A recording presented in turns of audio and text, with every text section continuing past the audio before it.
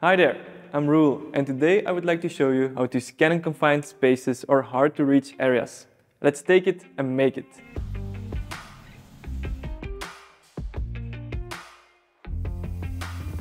Extracting dimensions and shapes from manufacturer's parts is critical and typically done entirely by hand. In the past this meant rulers, calipers, tape measures, pencils and pens, etc. These traditional manual methods of measurement are too restrictive and do not lead to precise data. More complex objects with thin edges and curves, such as interiors and steering wheels, is where the hand measurements really struggle. With the electrical cars of today, the interior design is becoming even more complex and more free-form shaped. This is why I want to show you the advantages of 3D scanning with the T-Scan Hawk 2 for digitizing in confined spaces or hard-to-reach areas. Let's take a look.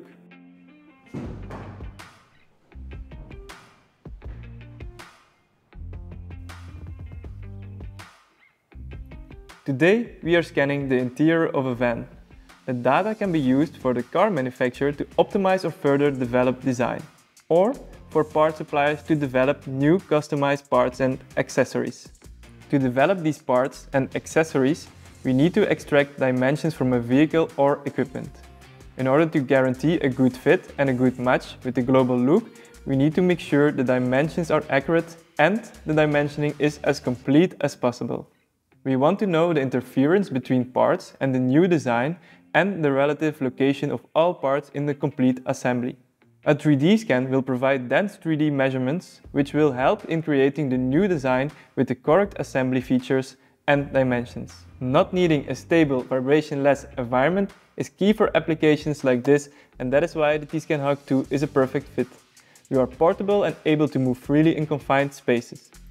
Due to the fact that the T-Scan Hawk 2 has a large scanning area, we can scan a large part of the dashboard in a very quick and easy way, and we can use smaller and fewer reference points. By moving over the surface, we can make a digital twin of the complete dashboard and by using the reference points, we are making sure that all data is connected in each other in an accurate way.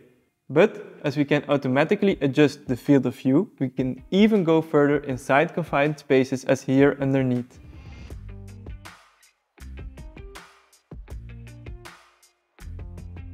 To get data in between gaps or in between the dashboard and the windscreen, we can also use the single line to collect data in these hard-to-reach areas.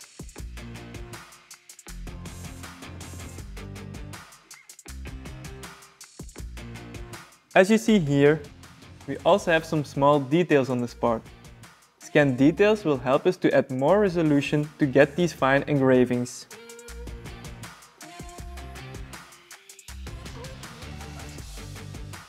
In the inspection software, you can clearly see the scan quality.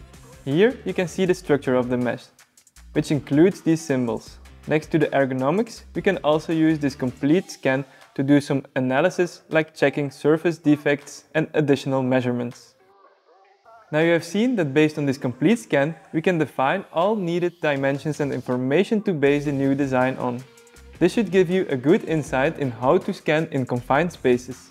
For more how-tos, getting started, product updates or any other question regarding 3D scanning, please visit handsonmetrology.com. You will find the link in the information section of this video. Thanks for watching, see you next time!